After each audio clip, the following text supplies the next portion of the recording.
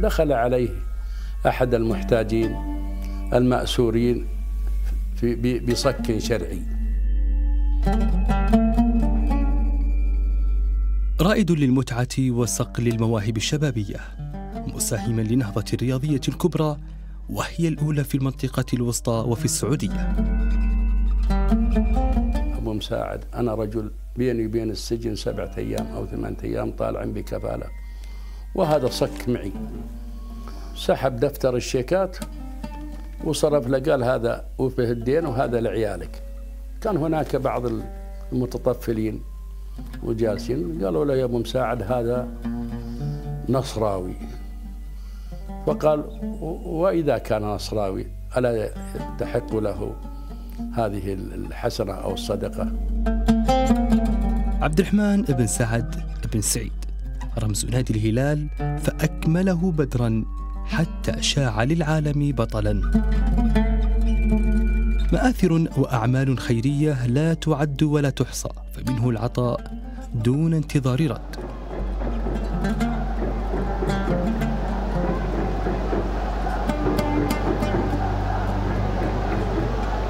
بعد عبد الواحد يرفع كورنر وبراسه براسه بشير. في آخر ثانية. في آخر ثانية. في آخر الدقائق. كوره اتلعبت في العام 77 ولادة جديدة للكرة السعودية في المنطقة الوسطى حيث البداية كانت بالقرب من هنا وسط حي الظهيرة حيث مر من هنا عبد الرحمن بن سعيد بالقرب من هذه المباني البدائية. حيث قام باستئجار أول مقر لنادي الأولمبي قبل تسميته بالهلال حيث مقرا للإدارة ومعسكرا للاعبين. في الظهيرة وسط العاصمة الرياض كانت بداية شيخ الرياضيين عبد الرحمن بن سعيد قبل تأسيسه للهلال.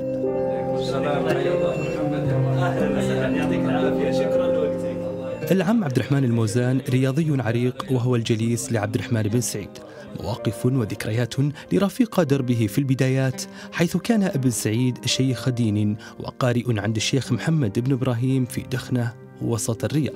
كان في بداياته يقرأ على الشيخ محمد بن إبراهيم عليه رحمة الله في مسجد الشيخ محمد إبراهيم في دخنة.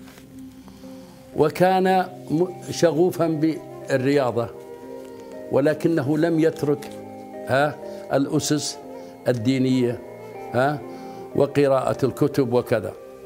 ولكنه حب الرياضة وأثرت عليه تأثيرا قويا وسلك الرياضة. حتى أن أبو سعد عليه رحمة الله كان يتمنى أن يرجع ابنه عبد الرحمن إلى المجال الديني وهو لم يترك المجال الديني. كان متدينا كان يقوم بكل الواجبات ولكن حب الكورة. الطريق لم يكن ممهدا لابن سعيد حين قرر الدخول للمجال الرياضي في وقت كانت الممارسات الرياضية توصف بالفسوق فأصر بحكمة بدخول الرياضة للمنطقة الوسطى ودعم الشباب رياضيا واجتماعيا بل بوقفات إنسانية. وانشاها في الوقت اللي كانوا أهل الرياض يعتبرونها من الممارسات الفسوقية ولا يهضمون كرة القدم ويعتبرونها من الأعمال الغير محبوبة عندهم. ولكنه استطاع بحكمته وبقدرته وبما أعطي من مال ومن فكر واسع أن يرسخ المفهوم الرياضي أن يجذب البطولات للمنطقة الشرق الوسطى. في عام الواحد الثمانين ضد الوحدة في عام الأربعة وثمانين ضد الاتحاد وضد ذا حتى أصبح رمزا من الرموز الرياضية. ولكن السؤال هل كرم هذا الرجل وأمثاله لم يكرموا أبدا. في العام 97 مر من هنا عبد الرحمن بن سعيد حيث حقق نقلة نوعية لنادي الهلال في هذا المقر. ومن هنا بدأت رحلة الإنجازات الزرقاء لأغلى الأندية في المنطقة الوسطى. وفي هذا المقر ملعبا لكرة القدم وللسلة ولكرة الطائرة وصالة لتشغيل الأفلام السينمائية. مسيرة خيرية ورياضية في دعم وعطاء لا ينتهي.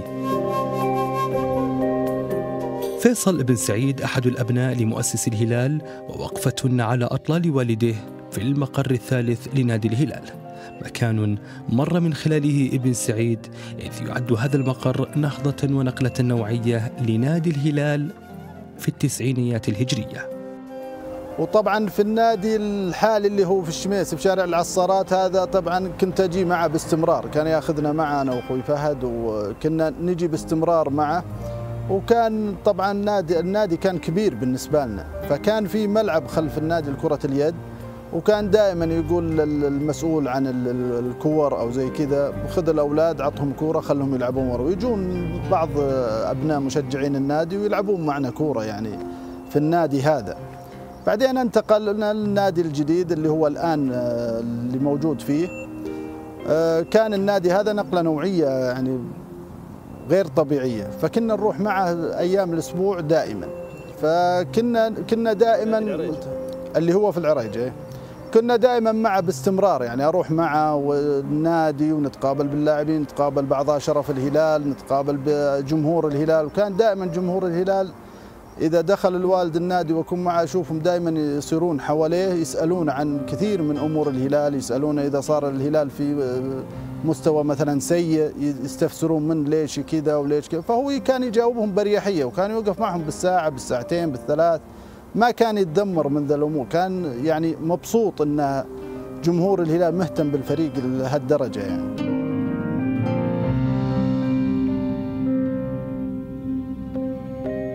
عديد من اللجان والعضويات بالإضافة لرئاسته لثلاث أندية من أهم الكيانات الرياضية وبات ناديه ملتقى للرياضيين بمختلف ميولهم.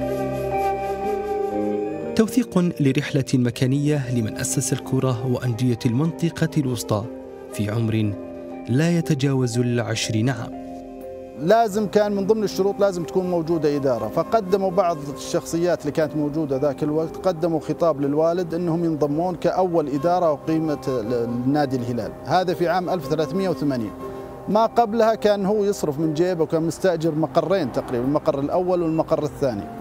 والثالث على اللي في شارع الظهيرة. يعني كلها كانت على حساب الوالد.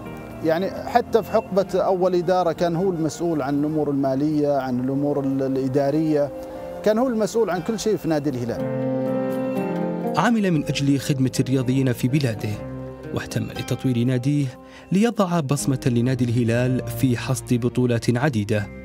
إذ يشكل رحيله نهاية فصل في تاريخ الرياضة والرياضيين في السعودية. محمد المشاري MBC الرياض.